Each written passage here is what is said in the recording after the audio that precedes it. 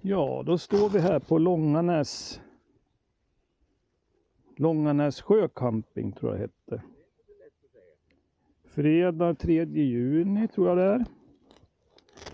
Och eh, till höger här är vår tältplats där vi låg i natt och receptionen rakt fram. Mats hade oturen att ha mc-nyckeln kvar i tältet så det blev lite... Otur. Ja, man kan ju ha otur ibland.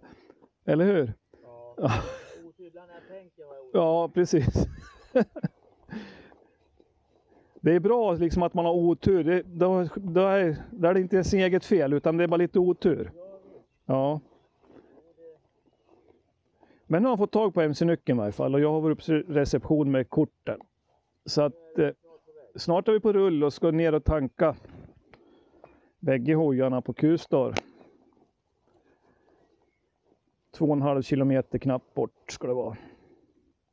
Så det blir bra.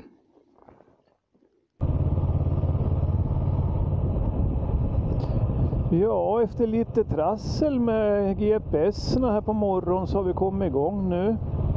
En bit. Vi körde ju tydligen på TST blå Blekinge var inte grön. Så det vart ju tokigt att ladda hem den gröna. Det var inte så konstigt att man var ute i pannkakan någonstans då. Men det ordnade sig här för en stund sedan när vi kom på hur det låg till. Igår kväll drack vi inte en droppe sprit, det är väl därför inte hjärnan funkar. Ja, här passerar vi något litet vattendrag. Och det är ett naturreservat här också, ser väldigt nice och trevligt ut. Det heter Kärringahejan naturreservatet står det på skylten här framme till eh, höger. Mörrumsåns dalgång är det. Då var det säkert Mörrumsån vi passerade där då. Den är ju känd för sitt fiske.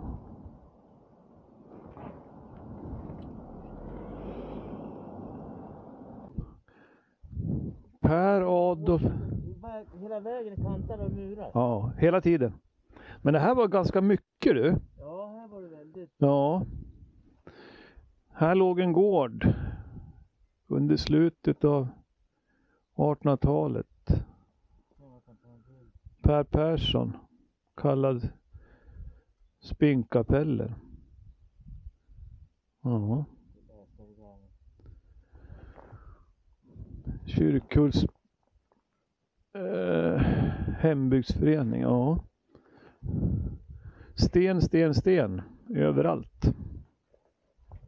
Hör du, ska vi pinka lite grann eller?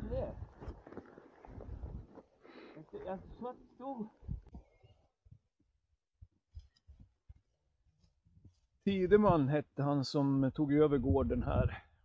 Och, eh, ingen visste var han kom ifrån. Men han hade storbyggmästare i Sydafrika sägs det. Vi förde hit mängder av dyrbara föremål från utlandet. Lejon och tigerhudar låg på golven. Det fanns ostindiskt porslin, elfenben och mycket annat. 1907 brann huset ner. Men han lät anlägga en ny husgrund ute på åkern innan han 1910 lämnade Jutanös för sista gången. Och då åkte han till Sydafrika. Och han skulle egentligen uppföra ett nytt boningshus men han kom tillbaka och sägen säger att han havet vid en hemresa 1916. Ja, då är vi framme på Snapphallarnas naturistkamp. De har en liten stuga den hyr vi för 300 kronor en natt. Billigt. Jag hade tänkt tälta men så kom de med det här erbjudandet så tog vi det. Och Så en liten sjö här borta. Ja, här har vi vår lilla stuga. På NF Snapphanen. Mats har börjat administrera. Det är inte stort, men vi har värmen på. Så man har brumma där nere. Bastun brinner där nere. Bastubad om man vill ja. Ja. Det är naturist där vill jag bara tillägga. Så att Ja, det är inga kläder på. nej. Så det är bara ragga brudar. ja.